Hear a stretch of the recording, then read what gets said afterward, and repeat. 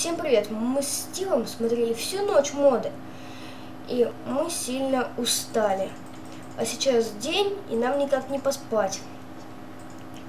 А с этим модом будет можно. Только сейчас я хочу избавиться от этих жителей надо... надоедливых. Вот заходит ко мне тут в домик. И что мне для этого понадобится? Мне понадобится любая шерсть. Ну, например, возьму я красную шерсть. И мне понадобится, угадайте, что? Перья. И как мне скрафтить саму подушку? Надо всего лишь вот так вот выставить нужные нам вещи.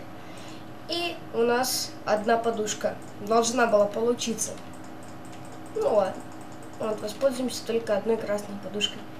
Вот, смотрите, мы не можем спать. Берем подушку. Вот, смотрите, вот день, да? Сейчас даже середины дня.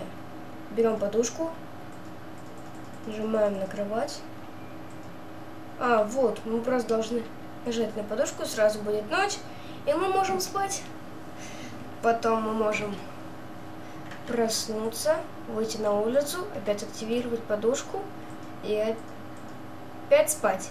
И так мы можем спать вечно, пока у нас подушка, подушки ломаются.